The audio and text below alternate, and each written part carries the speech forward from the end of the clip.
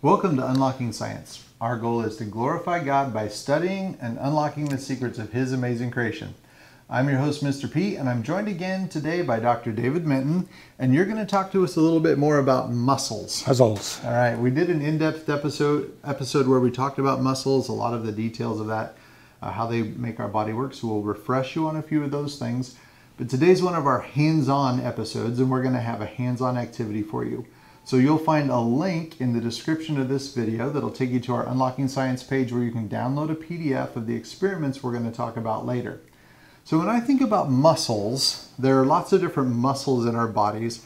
If we didn't have muscles, we probably mm-hmm. wouldn't be able to do much. We'd just kind of sit there because muscles are the main things that help us move our bodies all over the place. But as we talked about in the episode, there are more than one type of muscle. What are the three basic types of muscle that we have in our bodies? Well, of course, the largest muscle in our body is called skeletal muscle, and it's attached everywhere that uh, uh, all the bones of the body are able to move because skeletal muscle has to go across a joint. Yeah. And if you think of it, if muscle doesn't cross a joint, nothing's moving. It doesn't move. so, uh, skeletal muscle, uh, muscles of our body, However, not all skeletal muscle is attached to skeleton. Uh, we have about 45 skeletal muscles in the skin of our face that we use for facial expression. Yes. Mm-hmm. And uh, it's interesting that that particular language of facial expression is universal. You can go anywhere in the world, and smiles are pretty much smiles, and frowns are frowns, and anger is anger. Yes. So, um, but most of our skeletal muscle do indeed attach to uh, to bones and move our body. And then there's another kind of muscle that kind of comes second in quantity. Mm-hmm. It's called smooth muscle. And uh, it's called smooth muscle because skeletal muscle has bands in it when you look at it under the microscope. Yes. Uh, but smooth muscle doesn't have those bands, so they call it smooth. That's an incredible way to describe it. right. And smooth muscle is normally also involuntary. So we don't have to think about it. We normally have to think about skeletal muscle, although there's so many automatic things we do with our muscles when we walk. Could we possibly be thinking of all of the muscles involved in making nope, our steps? You know, and in a reflex response, if something's coming at your face, right. we automatically do that. So that's kind of an involuntary. And response. then we talked about breathing in another session uh, mm-hmm. where our breathing is entirely done with skeletal voluntary muscle and yet, how often do we think about it? It's or when just, you're sleeping, you don't have to think about breathing. It's just absolutely. So we do have an area in our brain that uh, triggers that breathing and keeps it going, even when we're not thinking about it. But if we want to take over, we can, of course, do that. Uh, smooth muscle is also found around most of the big tubes in our body. You think of the whole GI tract from the oral cavity through and about 20 feet altogether, 18 to 20 feet. And it has smooth muscle all the way. Yep. It has an inner ring of smooth muscle and then an outer longitudinal smooth muscle. And those two take turns contracting. We call it peristaltic contraction. Mm-hmm. It moves food through our body. Yep. So smooth muscle aids in digestion. So if uh, you think about the esophagus, as you swallow food, your esophagus has those muscles around and it's squeezing that food down into your stomach. It just doesn't yeah. fall down there. The esophagus is an interesting example. When you put food in your mouth, you are a decision maker for the first third. Yes. Do you want to swallow or not? Okay. Guess what kind of muscle we have there? Voluntary. Skeletal muscle, because we have voluntary control. Mm-hmm it starts switching over into smooth muscle as we go down our esophagus. In the middle, there's kind of a mixture. We've pretty well lost control. and then in the lower third of the esophagus, of course, it's all smooth muscle. So once we swallow just so far, the smooth muscle takes, takes over. over. Mm-hmm. So a lot of the tubes of the body, uh, hair follicles, smooth muscle raises mm-hmm. those. Um, uh, blood vessels have to have smooth muscle to control the flow rate of blood that's going through it. Yep. Uh, so lots and lots of smooth muscle in our body. Uh, the muscles we use to adjust the pupils of our eyes mm-hmm. are smooth muscle. Uh, the muscles we use to focus our lens are smooth, whereas the muscles we use to aim our eyes up and down and left and right, those are skeletal. Those are skeletal. So there's extrinsic muscles that are skeletal in the eye and intrinsic ones inside that are smooth. Mm-hmm. So we've got skeletal and smooth. smooth. And the, third, third is uh, very unique muscles only found in one place in your body. and that's the heart. And it's called cardiac muscle. It sort of looks like skeletal muscle in that it is banded, okay? But it differs from skeletal muscle in some really interesting ways. One of which is it doesn't require any motor nerves necessarily to contract. It can contract on its own little drummer. Uh, and uh, another interesting thing about skeletal muscle is that uh, it Cardiac branches. muscle. I'm sorry, cardiac. It, it's a branching muscle, Uh-huh. whereas skeletal muscles just tend to be long, fibers. thin uh, fibers. cardiac muscle branches into one another, into the other cells. Uh, another thing about uh, cardiac muscle, it's like smooth muscle in the sense that it normally has just one nucleus per cell. Occasionally in cardiac muscle, two, but usually one nucleus per cell. You might wonder about skeletal muscle. It's You can have a hundred or more nuclei in one skeletal muscle cell. Mm-hmm. And that's because skeletal muscle is formed by the fusion of a lot of separate cells that had only one nucleus. Yep. But as they fuse, they become a big multinucleated cell. Mm-hmm. So skeletal muscle cells can be very large. In fact, they can be large enough to be seen with the eye. They can be several inches long and uh, kind of near the limit of resolution and width. So we're going to be doing an activity today. Show show you that in a few minutes about muscle fatigue. Now, do you think we ever get fatigue in our heart muscle? we better not. We better not because it's got to keep that pumping rhythm going all the time, or you would die because the blood wouldn't be circulating to get oxygen around your body. So cardiac muscle doesn't fatigue. What about smooth muscle? Does it tend to fatigue very easily? No, it doesn't. In fact, it's kind of interesting. Uh, you want to see the Lord's handiwork, you only have to look at the eyelid. we have a muscle that closes the eye, of course, the eyelid, and that's a sphincter that goes around in a circle like this, okay? They call it the orbicularis, it means an orbit. Oculi, the orbit around Orbit the, eye. the eye. When that contracts, your eyes close. Uh, the lower lid doesn't do too much of the moving. The upper lid does most of the moving.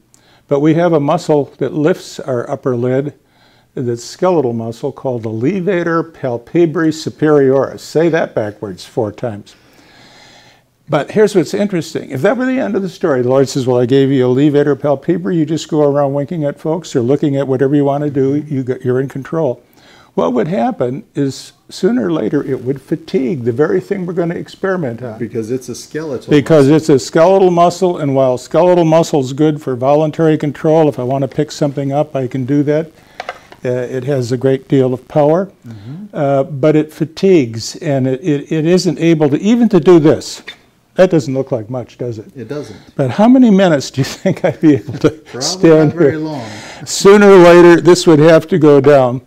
And the Lord knows we don't want our eyelid going down just because the muscle's fatiguing on our eyebrow lifter. Let's say we were driving down the road, we want that thing to be able to stay open for a long So this is this is nice.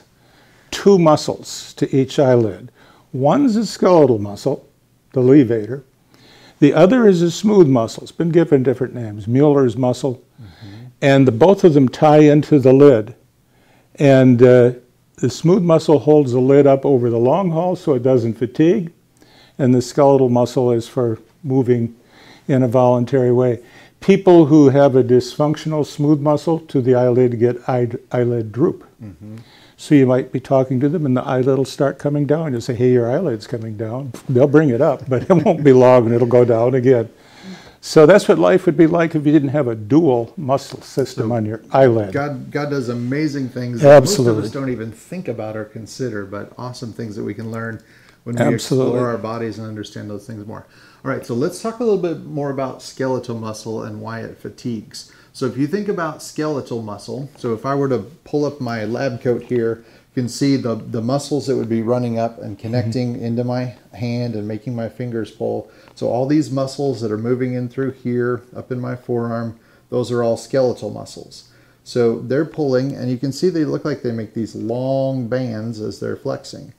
And that's what these skeletal muscles do. They're really a bundle of a bundle of a bundle of little fibers that are spreading out down through my arm. So let's look at this model and talk a little bit about what that individual muscle group looks like. Well, you know, we might start out talking about a piece of ham. Okay?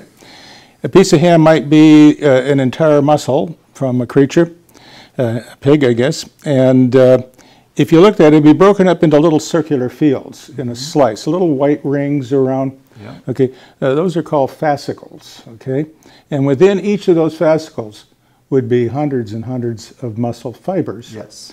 And this model represents one muscle fiber and not its whole length, just one cross section. If this were to scale and this were a cell, a muscle fiber from our leg, it would have to be up through the ceiling up there and down through the floor below to Yes, be to be- scale for this width. Very, very long. So, uh, what is one muscle fiber? One muscle fiber is one muscle cell. And, uh, but it's an unusual cell. As we mentioned, it's a cell that has many, many nuclei because it was formed from a lot of separate cells called myotubes that fuse. Fused together. And throughout life, you have little cells called satellite cells just waiting to join in. Uh, if you lift weights, I could rip off my shirt and demonstrate, but we'll spare them that.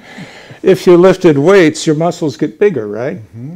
And the reason they get bigger is not because you have more muscle cells. They get bigger because the amount of protein in the muscle cells, the myofibrils we call them, that's these little units here that look circular Yep. These can get more numerous.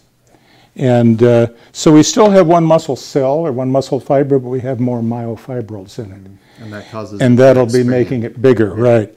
And uh, the bigger it is, the more myofibrils, the more contractile force it's going to have. Here are the myofibrils in longitudinal section right here. So around this muscle cell or fiber is a layer of connective tissue called the endomysium. And then, of course, around the whole fascicle was another layer called perimysium.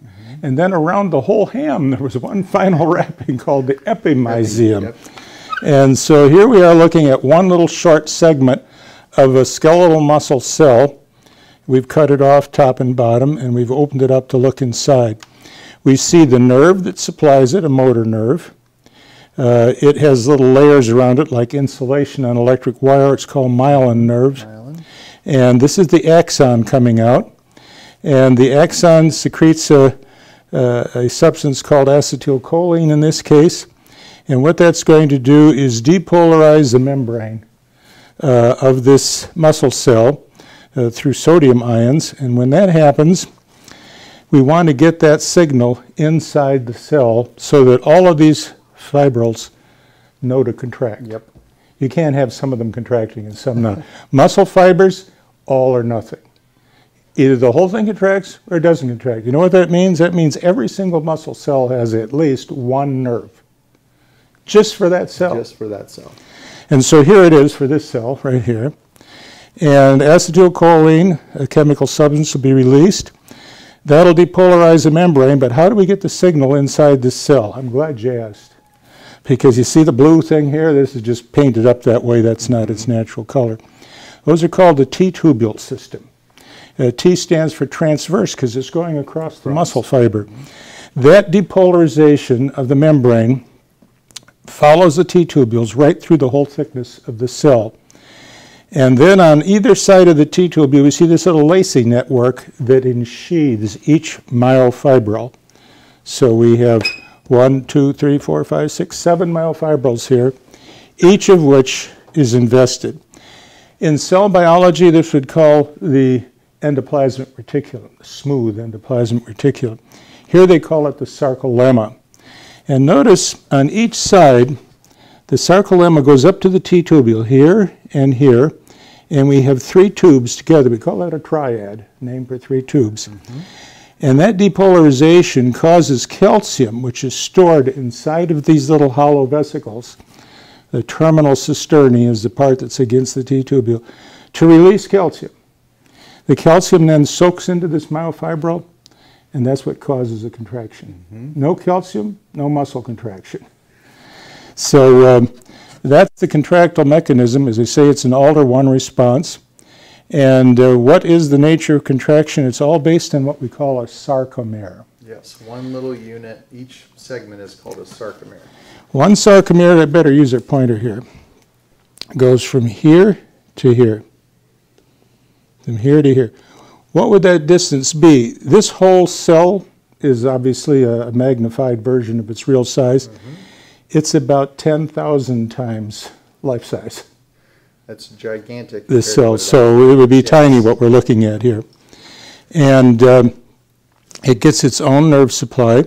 It has lots of nuclei, that's one of them right there. Yep. But you might have as many as 100 or so, depending on the size of the muscle cell. And uh, the way the muscle contracts is because of the sarcomere. Basically, the story is the sarcomere gets shorter. So if this is a sarcomere length from here to here, these two lines called Z lines get closer together. And when they do, and lots of others are also getting closer together, there's sarcomere one after another going down the whole length Yes. the muscle gets together. shorter. And what causes it to get shorter? Well, that's really a complicated story. I kind of have to use this uh, illustration here to help us out here. This is taken with an electron microscope, so it's very high magnification. This is a sarcomere from here to here. Uh, that would be in life about two microns. Very, very tiny. Okay, what's two microns like? Thickness of a dime is a millimeter. Mm-hmm. The thousandths of thickness of a dime is a micron. This is two of them, Yep. two to three. So if you could slice a dime a thousand times across the, This, from here to here, this sarcomere would be two to three, depending on the degree of contraction. Mm-hmm. Now notice the center is darker, and the edge going towards the Z line here and here is lighter. We call this the A band. And this lighter band I here is called the I band. And the reason this looks so much darker than the I band is there's more protein here, more filaments. This is a model of what explains the sarcomere. Here's the Z line, and there are little thin filaments that attach there. And they're attached in such a way they're staggered from one sarcomere to the next. These are called actin filaments, A-C-T-I-N. They only go just so far, this far. Same over here. These actin filaments come in from this Z line to there. It's all held together uh, by a structure in the middle, so these fibers can't go wandering off. Uh, now notice here are some thicker filaments. We call these myofilaments. And these myofilaments are called myosin. It's a different chemical, different protein. And so actin filaments and myosin filaments overlap. Now that's the whole base basis for muscle contraction. Let's say actin filaments, myosin filaments. Mm-hmm. They overlap. you've got some gaps in your fingers there. Right. Those gaps allow this to contract that much. Once I get here, can I contract anymore? That's it. See, that's a problem with skeletal muscle. It can only contract its sarcomere length. Smooth muscle can just keep contracting and contracting. It just imagine you have a baby and it's all wrapped in smooth muscle, the uterus. You have to sit and squeeze on that to get this baby out. So skeletal muscle would never be up to the task. We call this the sliding filament model. And uh, I think you can see that uh, between the thick and the thin filaments are little crossbars. And these are mechanically active cross bridges.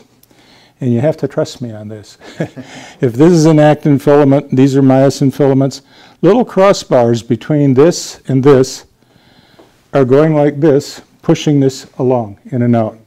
So it's the overlapping of a thick myosin and a thin actin with little crossbars here that are very energy demanding for ATP, makes that filament slide.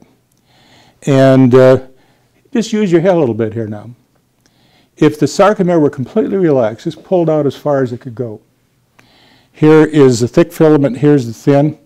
They might overlap, what, that much? What kind of force would we have for contraction right there? Would that be a large force or a small force compared to, say, when it was overlapped this much? Very small when it's open like that. So there is a length uh, contraction relationship in the sarcomere. When it first starts contracting, it has less power. As you get more and more overlap, it gets more power. You can see the power go up on a curve. But then it starts dropping down as the two thin filaments come and meet in the center and start to mash together. In fact, you reach the limit when the I band is totally gone. Yes. And before you even get to that, your, your length tension curve drops off. So So it's a bell-shaped curve, If we could take a picture of this when it was contracted, this would all be dark right out here. all the way maximally contracted, right. nidus. On the other hand, in total relaxation, it could be a little broader than this. Yep. So we're going from about three microns across in a totally relaxed sarcomere uh, to uh, two, less than two. All right, so when we think about those muscles, they're requiring lots of energy. They're requiring calcium and sodium ion exchange, all these things happening back and forth very quickly. And we need to be able to sustain those things for a short amount of times. But those muscles are going to give us lots of power over short duration, but they're not going to be able to last for a long time. Okay? If you've ever had to hold something in your hand very still for a long time, you might notice that after a little while, your muscles might start to tremble or shake. That trembling and shaking is those fibers starting to vibrate back and forth inside of mm-hmm. there. And they can't quite hold on anymore, and they're just kind of letting go, and they start to tremble, and that we call that fatigue. So what you're going to do in this activity is you're going to test your muscle fatigue. Okay? We've got two different activities for you to try. One, we're going to go with your grip strength. Okay, so earlier when we did this, we could see that the muscles that squeeze my, that make my fingers close are actually up here in my forearm. There are a couple of muscles in your hand, but the ones that make your fingers contract are actually up here in the forearm. You're going to take this, uh, some kind of a soft ball, like this Nerf ball, and you're going to squeeze it and try and hold it for a few minutes and see how that feels. Then you're going to try something with a little more resistance, maybe a tennis ball or a racket ball, and that will take a lot more force. And if you try to hold both of those for three minutes, we'll see what happens. and you're going to try to record when you start to feel those muscles trembling and shaking. Now, you might not be able to squish that tennis ball as much as I can, but you're going to squeeze that one as hard as you can and get it to smash out. And see when you start to feel that trembling in your muscles, and you're going to record that. Another way that you could do this is you could use some different weights. So these weights, I've got one here that's two pounds, one here that's three pounds. You might be able to find some smaller ones or different ones. And you're going to try different weights in, with each of your hands and see how long it takes for your muscles to fatigue. So what you're going to do, you're going to take this weight in your hand, you're going to start your stopwatch, and you're going to lift this up here, and you're going to try and hold it for several minutes, and then try and figure out when that muscle fatigue starts happening, when you start to feel that shaking and trembling and then you're going to do it with a heavier weight, move up to the three pounds, then maybe do both of them together, but you'll need to rest in between to give your muscles a chance to refresh there. So if you're doing it with another person, maybe I could be recording your time while I'm mm-hmm. resting, and then you could record my time back and forth as we're doing that. Now the muscles that we're working here are up in the shoulder area. These are the deltoid muscle. It's called a deltoid muscle across the top of your shoulder because it makes a little triangle and that's responsible for the abduction, we call this, when you're lifting your arm out like this. So these muscles connect across this joint and they pull up here on the humerus. There's also another one, I call it the supraspinatus, but Dr. Menton calls it the supraspinatus. okay, so I say spinatus, he says spinatus. They're but both right. you can see there's a little spine on your shoulder blade here, the scapula, and if you were to reach around the back of yourself, you could feel that little spine right here across the top of your shoulder. Okay? And the muscle that runs across the top of there is the trapezius, but underneath of that, in this little channel right here, and it comes out underneath of this and attaches here to the humerus. That's also, yep, it runs right through that hole. That also helps to start the initial movement of that, and then your deltoid takes over after about 15 or 20 degrees. So these muscles right here are going to be all that's holding that weight up. Okay? And you're going to be focusing those muscles. You can see how long they take to fatigue. How many minutes you think they're going to be able to hold five pounds out there? Wow. Uh, 10 minutes, you think they could go that long? I, I'd be impressed if somebody could do that, but you're going to start feeling that fatigue a bit earlier. Okay, so you're going to be testing out your fatigue capacity with these different weights and using a stopwatch and just some simple things. I hope you have fun with this. Maybe you can turn it into a little family competition and see who can hold that weight up there for the longest amount of time. And just marvel at the way God, is, God has made our bodies with these different types of muscles, and we can give Him all the praise and thanks for this. And until we see you next time, get out and enjoy all of God's amazing creation.